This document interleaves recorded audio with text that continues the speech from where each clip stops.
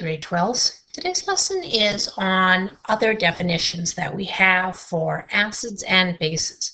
We've already discussed Arrhenius and his idea that an acid was anything that started with hydrogen and would liberate hydrogen ions when you put it in water, and a base is anything that contained hydroxide and liberated hydroxide ions when you put them in water. There were a few issues with um, Arrhenius's definition, where some things that we thought might be acids turned out not to be. And so there was some weaknesses there, but also there were some substances that didn't have hydroxides that did indeed turn out to be bases. Bronsted and Lowry are two scientists who came up with another definition that kind of helps take over some of these problems. Bronsted and Lowry thinks about whether or not a substance wants to donate a proton also known as a hydrogen ion, or whether or not it wants to accept a proton onto itself. Acids are anything that have hydrogens that are willing to donate. Bases are anything that will accept a proton onto themselves. All the acids that Arrhenius talked about are included in Lowry's theory, and there are some more that he didn't even include. There are also some substances that were not included in Arrhenius's theory that are included now in the Bronsted-Lowry theory. Take a look at this equation that we have. NH3 is ammonia. Let's not confuse this with NH4 plus, which is ammonium. Ammonia is a base. Now, Arrhenius would have looked at all those hydrogens and thought, gee, could this possibly be an acid? But no, because when you put it into water, no protons are freed up. When you put ammonia into water, what happens is we end up forming the ammonium ion and hydroxide ion. Because ammonia was what accepted a proton from the water, ammonia is a proton acceptor, and by Bronsted and Lowry's definition is a base. Because water was the species that ended up giving up its proton in this equation, it was a proton donor and is considered to be a Bronsted-Lowry acid. On the product side of the equation, ammonium and hydroxide are shown as being formed. Since this is an equilibrium situation, in the reverse reaction, ammonium, the NH4 plus, would act as an acid, and the OH would act as a base. These are called the conjugates. Let me show you how this might work. Here we see the ammonia molecule and the water molecule. Ammonia has a lone pair of unbonded electrons, and water, we notice, has two lone pairs of unbonded electrons.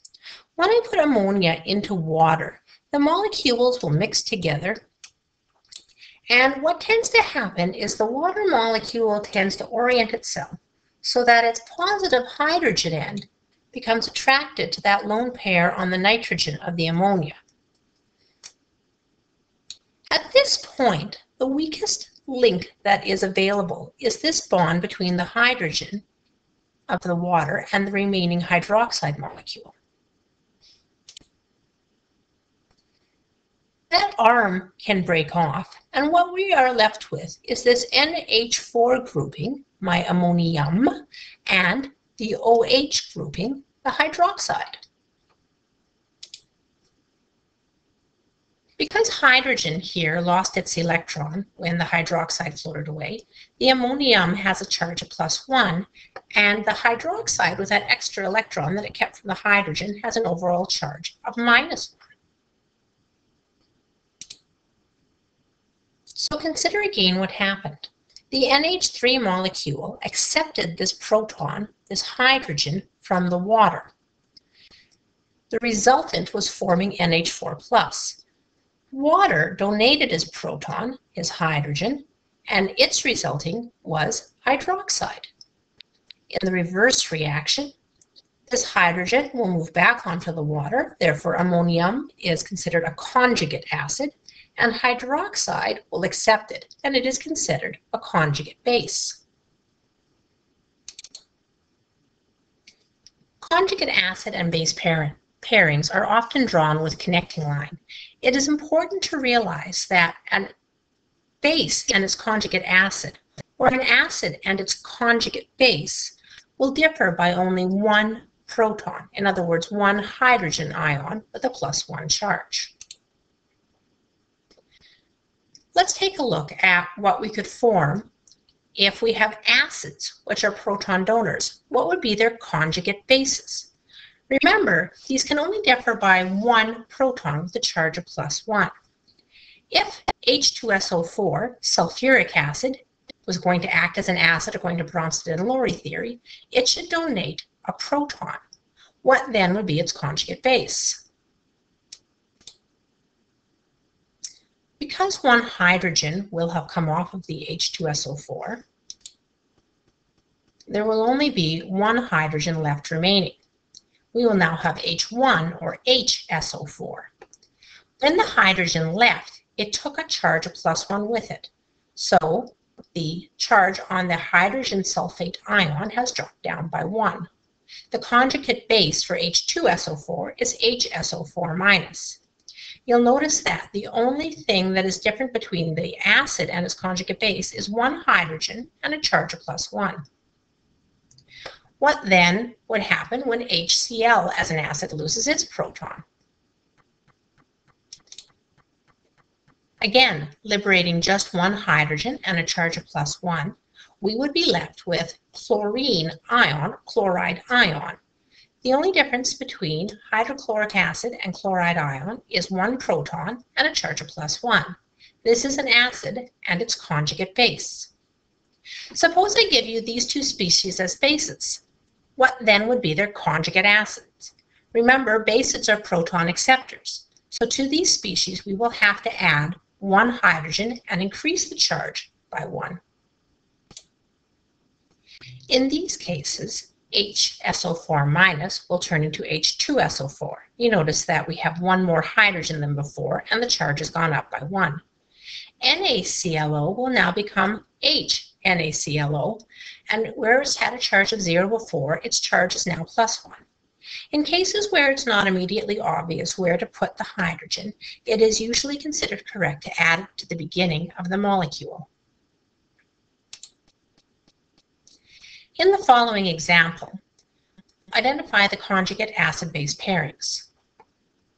HF, hydrogen fluoride, is going to react with water.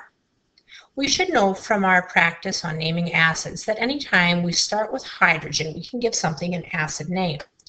This would also be called hydrofluoric acid. Because it's called hydrofluoric acid, I'm going to assume that this is an acid. By Bronsted and Lowry's definition, if it donates a hydrogen, then it will be an acid. On the product side of the equation, we see that the HF has turned into F minus 1. It has indeed changed by only one hydrogen and a charge of plus 1. Hydrogen fluoride was our acid, and fluoride then becomes its conjugate base. Continuing on, Water we know is amphoteric. It could act as an acid or a base.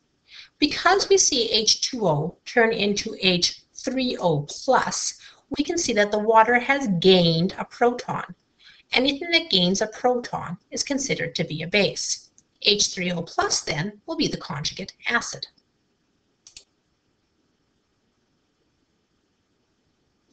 Why is it that I will call H plus and H3O plus a proton. And why am I calling them a proton anyway? Consider the hydrogen atom. Hydrogen is made up of one proton in its nucleus and one electron orbiting in its outer shell. When hydrogen atom forms an ion, the electron is lost. We now have hydrogen plus one ion. Because all that is left is a proton, hydrogen plus one ion is often referred to simply as a proton. So what about that H3O plus molecule? What's going on with that? Remember our water molecule has those two unpaired, unshared electron pairs that we have on this oxygen? Well, this proton is very, very attracted to the water molecule and would like to come and sit itself right down on the end of the water molecule. Remember what this is now. This positive charge, this proton, is the H plus 1 ion. So we can draw this like this. Or more accurately, we can refer to it as hydrogen with a plus 1 charge. This grouping now, this grouping has one oxygen and three hydrogens. We write the formula for it as H3O+, plus, and it has a name that we call hydronium. So H plus ion is nothing left but a proton. And when that proton is floating in water, it tends to find itself stuck to a water molecule. And so when it does that, we call it hydronium. In this unit, we're going to consider the H plus 1 ion, the proton, and the H3O plus, the hydronium ion, as being the same thing. Essentially, they are. Hydronium just more accurately tells us where that hydrogen plus 1 ion is sitting in the solution. Our final definition of acids and bases came up by Lewis. Remember Lewis dot diagrams? We did them a lot in grade 10 and 11. Lewis always liked looking at electrons. That was the point of his dot diagram. What are the electrons doing? And so he turned the entire theory of what it is to be an acid or a base from the point of view of looking at electrons rather than the Bronsted-Lowry definition of looking at the protons. It's essentially the exact opposite. In this theory of acids and bases, anything that will be an electron pair donor is considered to be an acid, and anything that is an electron pair acceptor would be the opposite, would be a base. Sorry, I've got that upside down. Acids are the electron pair acceptors, and bases are the electron pair donors.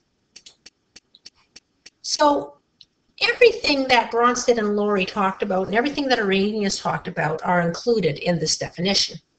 Take a look at the most basic acid that we can think of, just a plain old proton, H+, and a basic base, hydroxide ion. Because hydroxide has all these electron pairs available to be donated, Lewis would consider it a base.